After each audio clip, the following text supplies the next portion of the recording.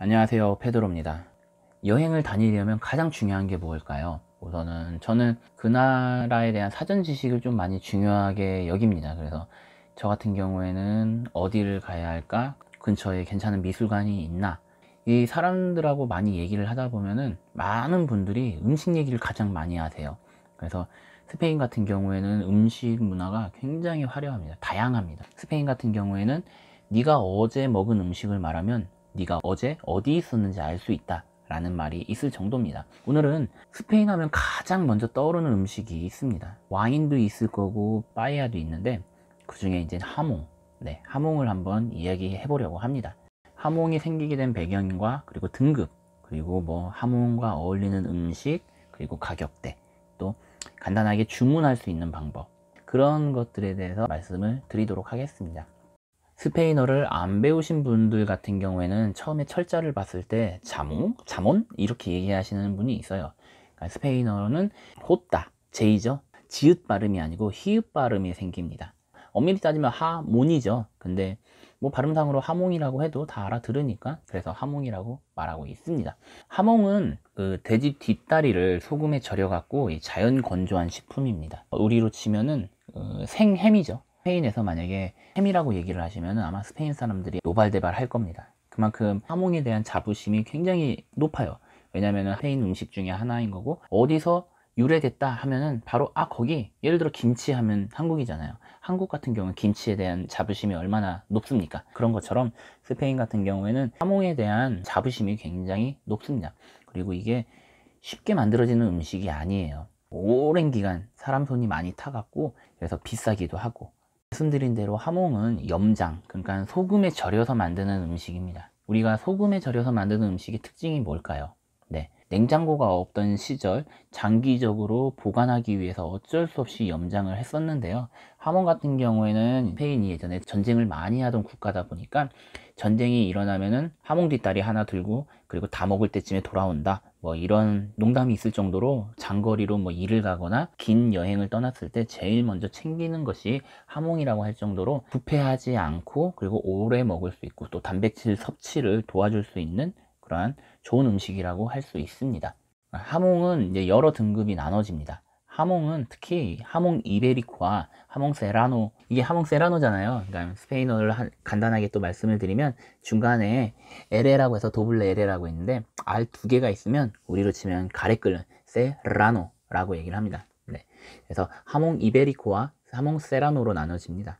그래서 이베리코는 이제 품종이 하몽에 특화된 돼지인데요. 이게 이제 검은색 발이 특징입니다.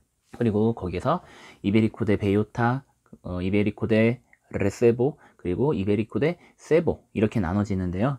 거기서 이베리코 대 베이오타가 하몽에서는 가장 최상급의 하몽이라고 보시면 됩니다. 지금 bellota가 나오는데 bellota 같은 경우에는 스페인어로 도토리라는 뜻이에요. 그래서 도토리를 먹는다. 요 사람들이 간혹 오해하시는 분들이 있는데 태어나서부터 계속 도토리를 먹는 게 아니고요. 도축하기 일정 기간 전부터 이제 도토리만 먹이는 거죠 예, 돼지를 끌고 다니면서 도토리 밭에서 그 걸어서 세계 속으로인가? 거기서 봤는데 돼지를 끌고 다니시는 분이 도토리 밭에다가 돼지를 풀고 나무를 쳐갖고 도토리를 떨어뜨리면 돼지가 와서 그걸 먹더라고요. 몇 개월 정도 이렇게 도토리를 먹이면은 지방과 단백질이 먹기 좋은 비율로 변하면서 최상급의 돼지로 바뀐다라고 얘기를 합니다. 하몽 샵들이 있어요 가끔. 가시다 보면은.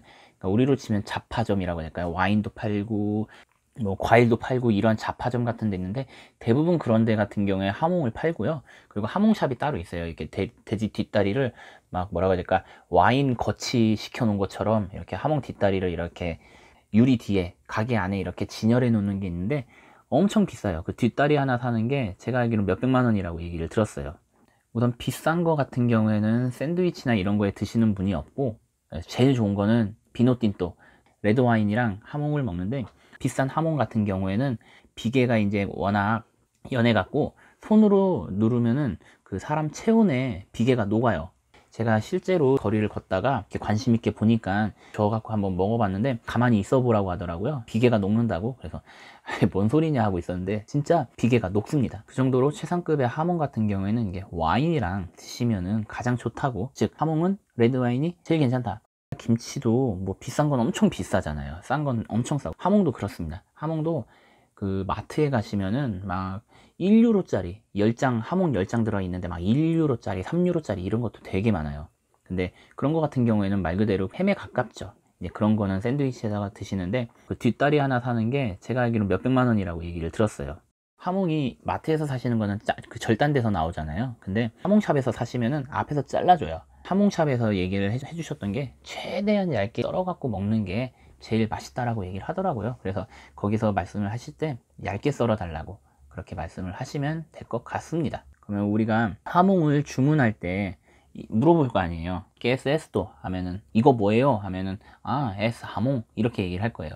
뭐 100g 먹고 싶다. 그러면 un 100g por favor 이렇게 얘기를 하면 되는 거고 그리고 얼마예요? 하면 cuánto 이렇게 얘기를 하면 됩니다. 그러면은 하몽을 하시는데 전혀 지장이 없으실 거고요. 제가 생각하기에는 한국 사람의 김치와 같은 것 같아요. 자부심이 엄청 강해요. 그러니까 하몽이 특별히 산지가 있는 건 아닌데 제가 뭐 모르는 걸 수도 있겠지만 근데 각자마다 자기 지역에서 나오는 하몽이 최고다라고 얘기를 합니다. 그렇기 때문에 하몽 같은 경우에는 굉장히 자부심이 있어요. 하몽에 대해서 말씀을 드려봤고요. 여행을 못 가시더라도 뭐 하몽에 대해서 관심이 있으시다면 한번 사 먹어 보시는 것도 추천을 드립니다.